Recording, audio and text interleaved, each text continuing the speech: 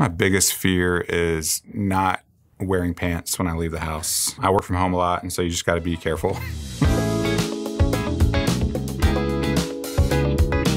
My name is Jon Scott. I'm the CEO and co-founder at ScopeStack.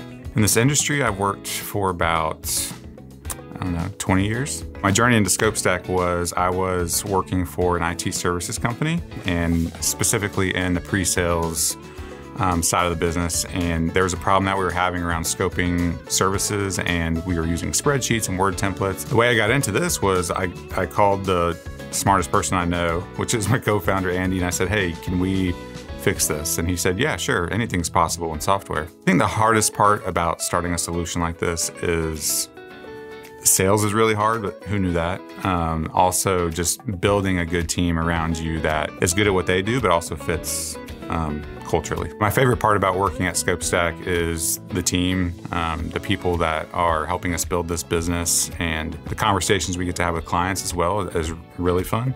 Um, it's a very authentic conversation because we were doing this just five years ago our, ourselves, and um, you know it's an easy conversation to have. So I really enjoy having that. Oh man, my favorite meal? I think I go like grade school and just go pizza. Yeah, I think ScopeStack makes life easier for its users because one, it's purpose built um, for this industry and, and, the industry that we were also in. Um, as well as just very easy to use. Uh, it's reliable. We had our very first customer on back in 2018. We still have them on today. So we know the platform works. We know it scales. And I think we can, you know, as any software, good software, we'll continue to enhance it and make it better.